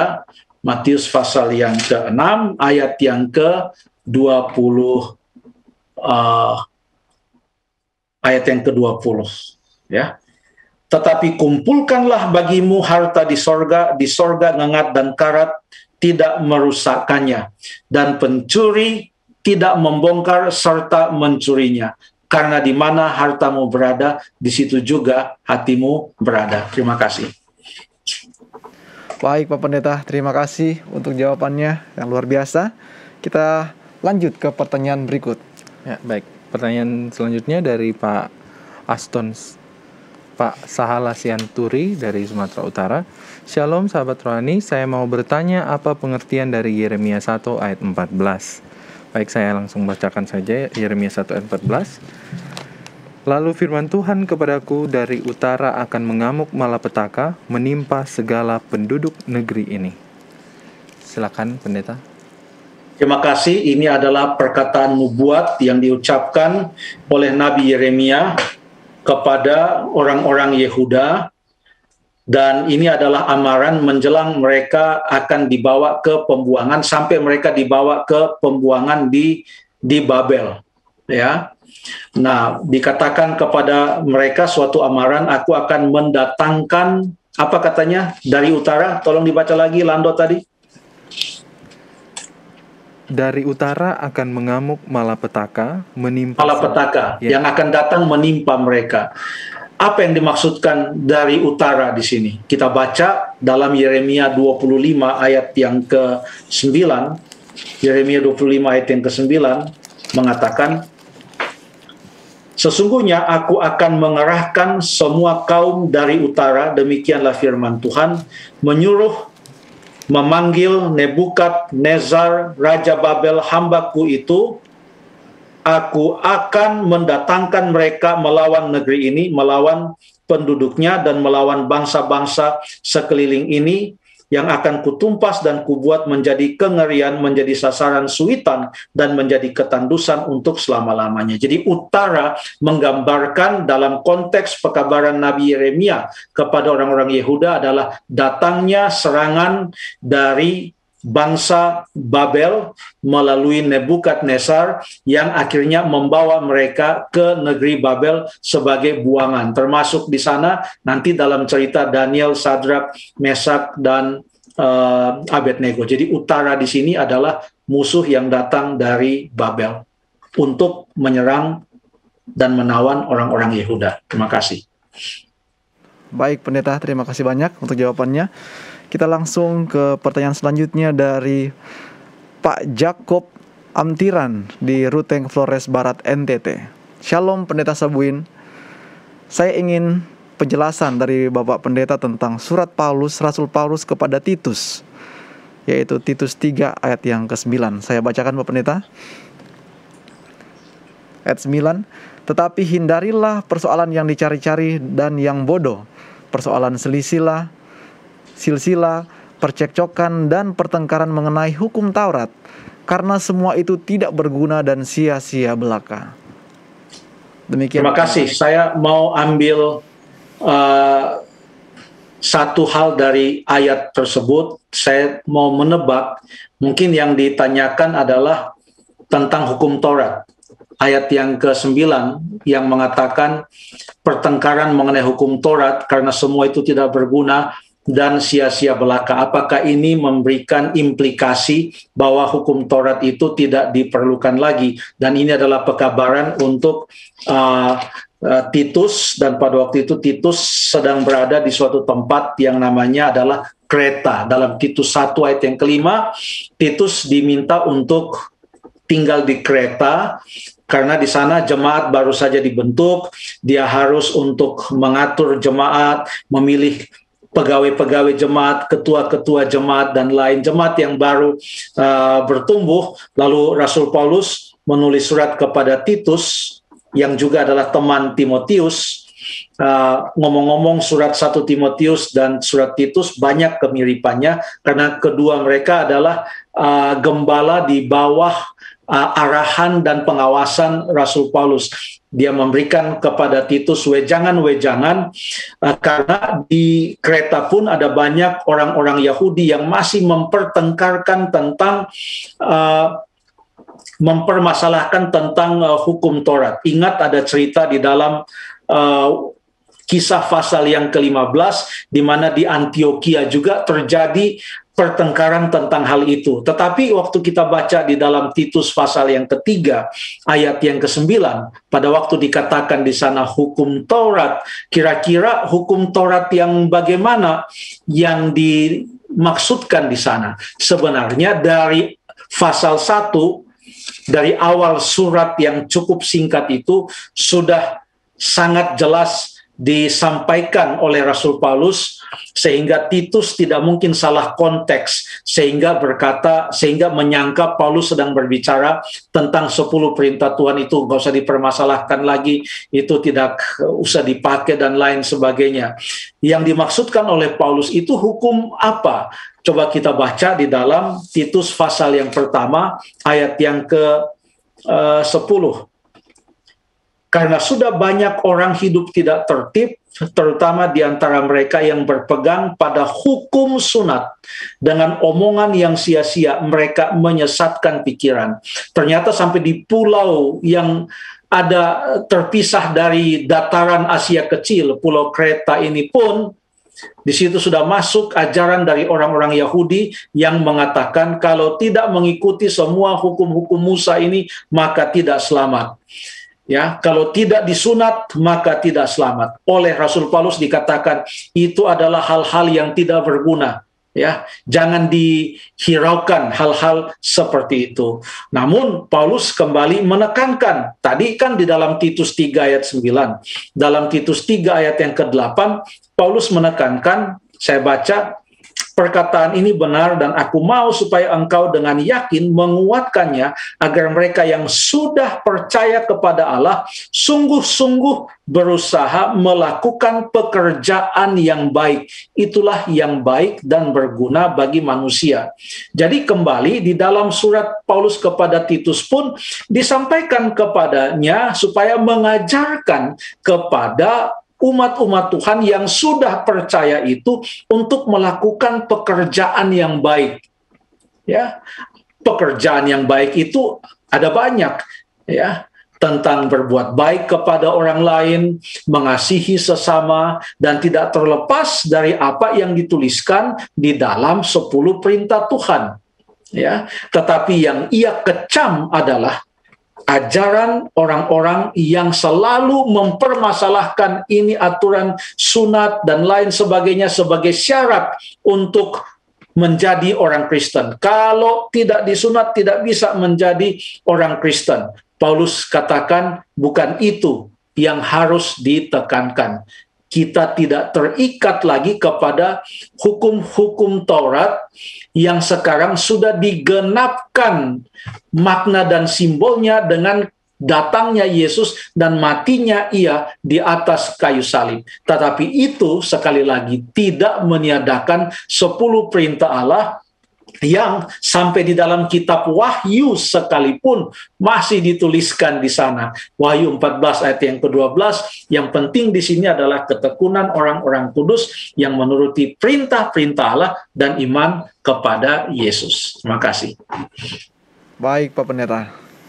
Kita langsung lanjut saja ke pertanyaan selanjutnya karena kita lihat waktu kita semakin singkat ini. Ya, baik. Pertanyaan ya. selanjutnya dari Pak Budi Cayono dari Jemaat Poncol, Kabupaten Magetan.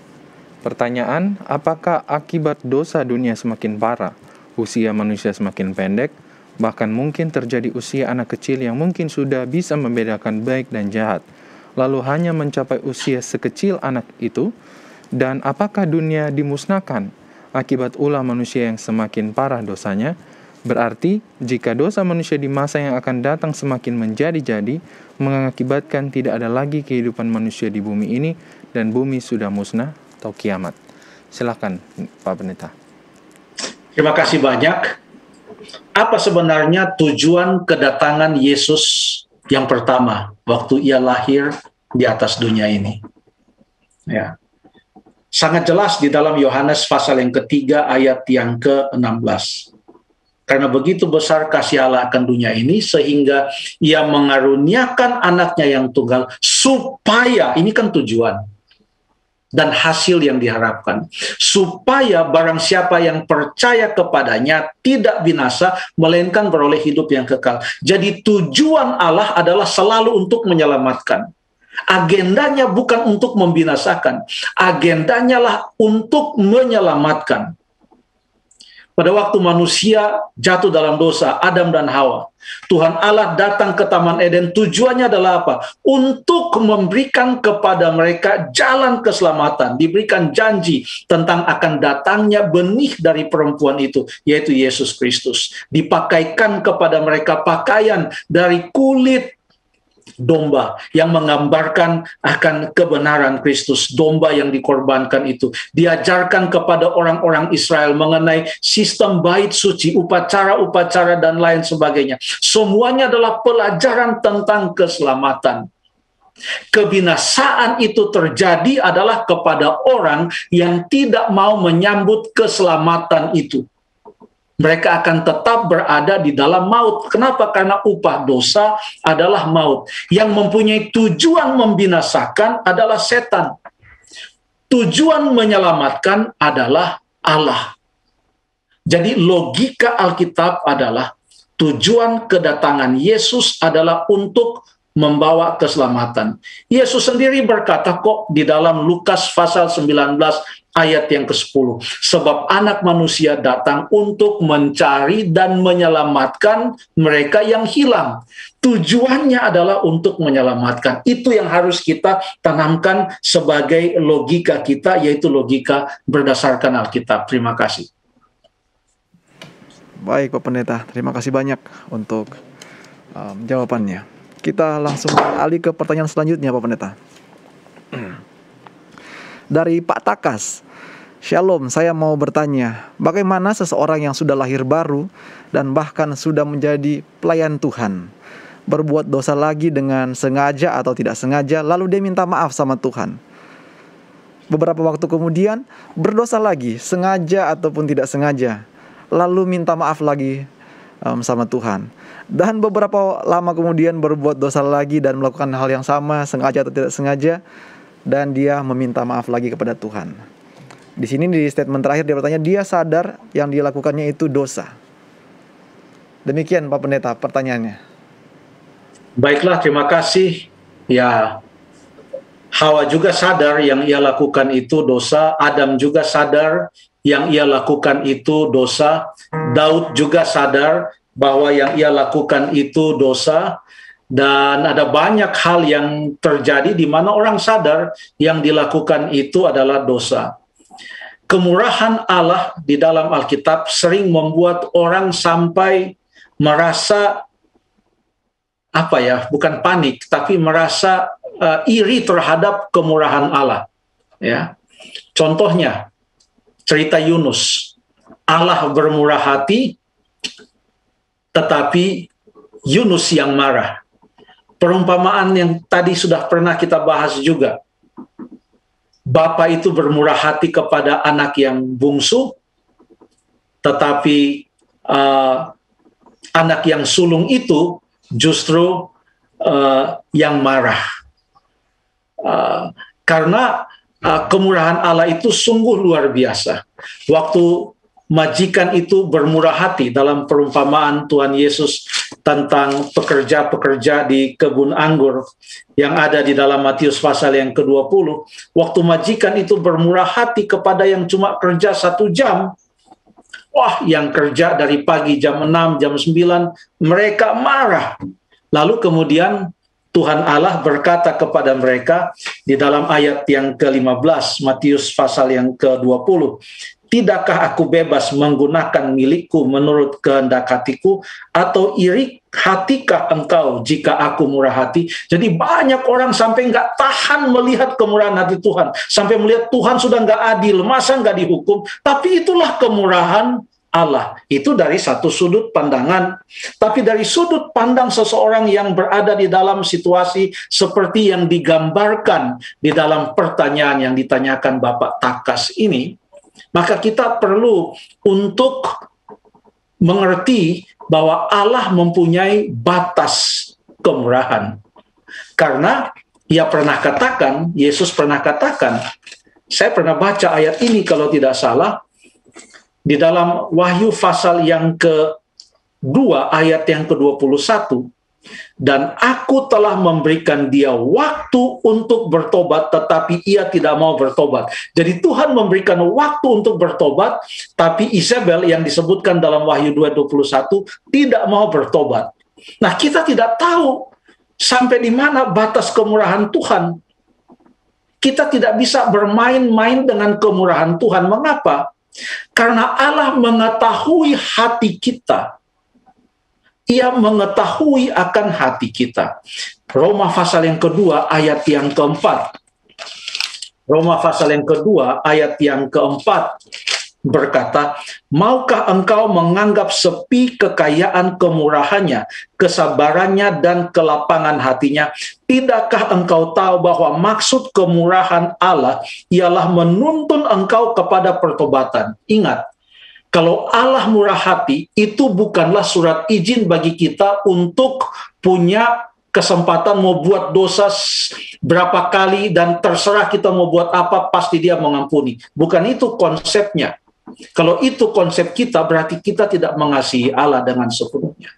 Ayat ini mengatakan maksud kemurahan Allah ialah menuntun engkau kepada pertobatan. Ya mau supaya kita melihat kasih karunia-Nya itu sebagai kesempatan untuk bertobat, bukan kesempatan untuk berbuat dosa lagi. Itu yang perlu kita pikirkan. Terima kasih. Baik Pak Pendeta, terima kasih banyak untuk jawaban yang luar biasa, sangat um, terinspirasi kita yeah. tentang jawaban tersebut. Mungkin ini akan menjadi pertanyaan terakhir Pendeta untuk episode kita pada pada saat ini. Silakan Lando. Ya. Pertanyaan, pertanyaan selanjutnya dari Bapak Wandi. Saya mau tanya apa konsep kedatangan Tuhan Yesus ini membu ini sesuai dengan nubuatan nubuatan. Kalau iya, berarti kedatangannya sekitar 10 tahun lagi. Uh, mungkin pertanyaan Pak Wandi ini mungkin ada pertanyaan pendahuluan sebelumnya sebab yeah. dikatakan saya mau tanya apa konsep kedatangan Tuhan Yesus ini sesuai dengan nubuatan? Kalau iya, jadi konsep kedatangan yang mana yang sedang ditanyakan ini? Iya. Tapi kalau ada kesimpulan yang mengatakan berarti kedatangannya sekitar 10 tahun lagi, Tuhan Yesus mengatakan di dalam Matius pasal yang ke-24 ayat yang ke-36 tentang hari dan saat itu tidak ada seorang pun yang tahu, malaikat-malaikat di sorga tidak dan anak pun tidak, hanya Bapa sendiri. Di dalam Alkitab ada nubuatan-nubuatan tentang tahun dan nubuatan tentang tahun yang paling panjang adalah yang disebutkan di dalam Daniel 8 ayat yang ke-14 yaitu panjang dari tahun itu adalah 2300 tahun. Itu yang paling panjang. Dan kalau kita melihat bagaimana perhitungan 2300 tahun itu berdasarkan beberapa petunjuk yang ada di dalam Daniel pasal yang ke-9 ayat yang ke-25 sampai 27 maka 2300 tahun itu masa nubuatan itu kita tidak bahas nubuatan tentang apa, tapi masa dari 2300 tahun yang disebutkan dalam Daniel 8 ayat 14 sudah selesai itu di tahun 1800-an dan itu bisa dihitung berdasarkan Alkitab dan sejarah, bukan dibuat-buat.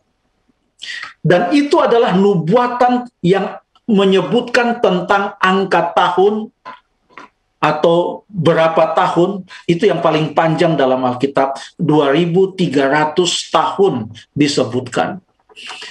Setelah itu setelah tahun 1840-an menurut perhitungan berdasarkan Daniel pasal 9 tersebut setelah itu tidak ada lagi nubuatan waktu di mana manusia bisa tahu tahun ini pasti Yesus datang. Tidak ada di dalam Alkitab. Kurang lebih demikian. Terima kasih.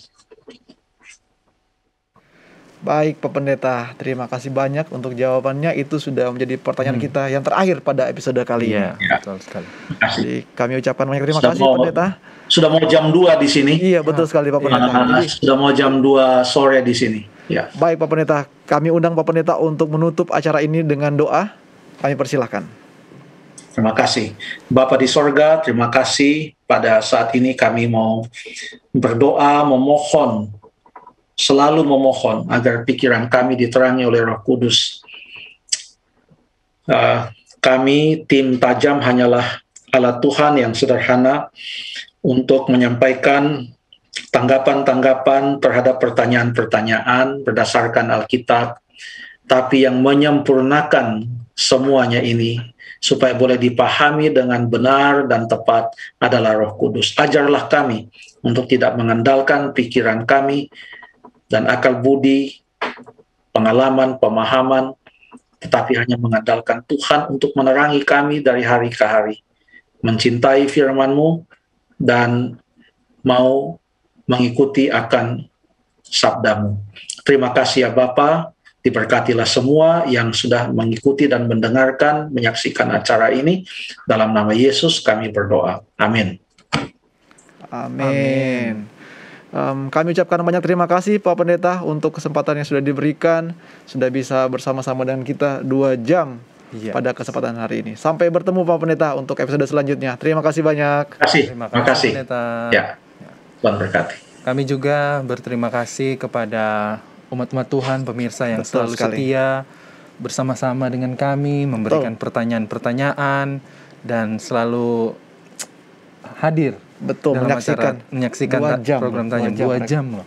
Betul sekali. Betul. Terima kasih banyak sudah bersama dengan kami. Kami juga mau mengundang untuk semua pemirsa yang sedang menyaksikan acara ini untuk selalu bersama dengan Hope Channel khususnya untuk besok hari di acara hari Jumat tepatnya jam 18 waktu Indonesia bagian barat kita ada acara Vesper di sana ada um, ibadah buka sabat dan juga tentunya ada firman Tuhan dan juga ada kesaksian-kesaksian dan ada juga permohonan doa. Permohonan, Jadi permohonan. kami undang untuk um, bisa bergabung bersama dalam ibadah pembukaan hari Sabat besok malam di hari Jumat.